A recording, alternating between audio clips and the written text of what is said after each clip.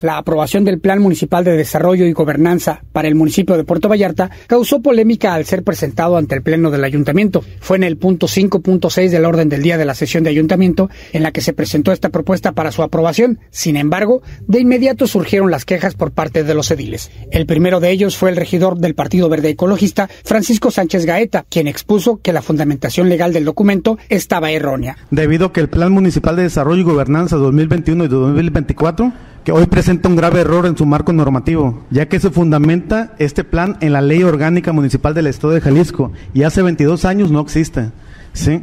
que dejó de tener evidencia hace 22 años, siendo la Ley del Gobierno y Administración Pública Municipal del Estado de Jalisco la, la que se encuentra vigente. Entonces, este plan está basado en una ley que no existe hace 22 años. Entonces, creo que es un grave error el que hayan traído esto al Pleno yo no sé quién haya hecho esta, este, este reglamento, ¿no? Pero pues, no creo que yo no pasaré a la historia por aprobar un plan de desarrollo con una ley que no existe.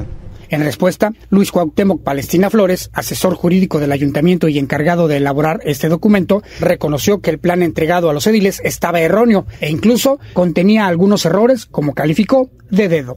Comentarle que el documento que se les hizo llegar, el cual usted está haciendo referencia, regidor Paco, todavía se modificó en algunas cuestiones de forma.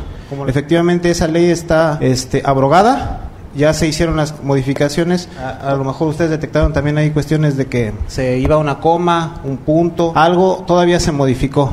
Posteriormente surgió la duda acerca del pago para la elaboración de este documento, acerca de que si este se realizó con recursos del gasto corriente o se realizó un pago extra por ello, tal como lo señaló el regidor morenista Pablo Ruperto Gómez Andrade.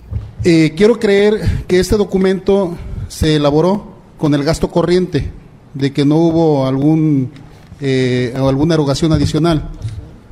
Eh, sí me gustaría conocer esa respuesta.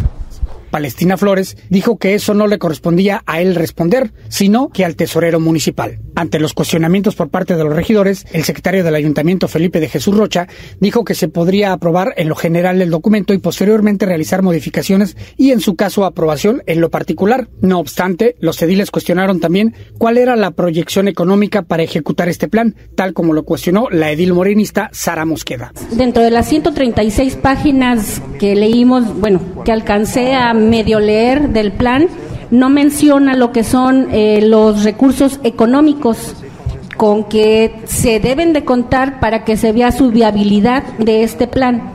Entonces, yo quisiera saber si al hacerse la modificación ahí se va a plasmar o de dónde se van a agarrar las partidas para que se lleve a cabo este plan, porque todo plan debe de llevar este algo o tenerse algo económico con qué con qué se va a trabajar, ¿no?